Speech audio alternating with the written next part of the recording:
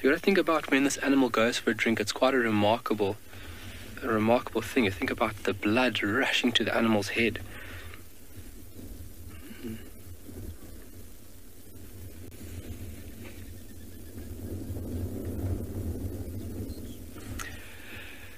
What is the function of the horn? Um, oh shit, Glenn, Glenn, Glenn, here on at the ground. There's a cobra. There's a cobra here. There's a sorry guys. There's just a Cape cobra right at our vehicle here, and I don't want it to go underneath the vehicle. Sorry, so I'm just going to move. Oh shit! Can you see it there, Glenn? Oh my word! That's our stick from the other day, folks. That's why situational awareness in the bush is a very important thing. It came up on the side, and I just caught from the corner of my eye the scales shining. Oh, my heart.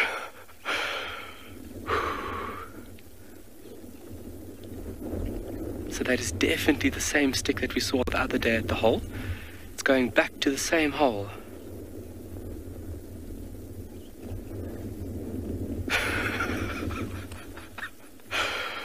Oh my word. But how beautiful is that animal moving on the surface there? Just effortless. Like it's gliding.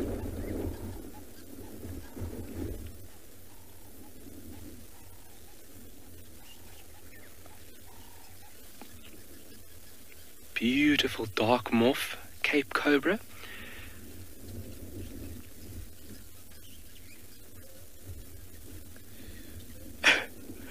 I'm fairly excited as well, but on another level. Um, so just I just stood up there just to deter the animal away from the vehicle. I didn't want to start the vehicle to scare it off. But my movements, you could see that I don't know if you folks got that picture where it did raise its head and expand its hood.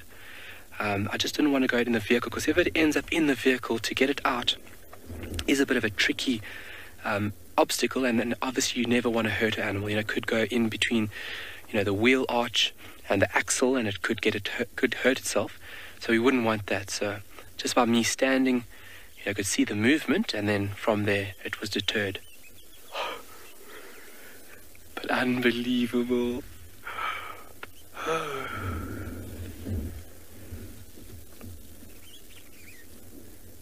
So um, this is the mating period for Cape Cobras right now. And that's why in the past few days we've been seeing quite a lot of them.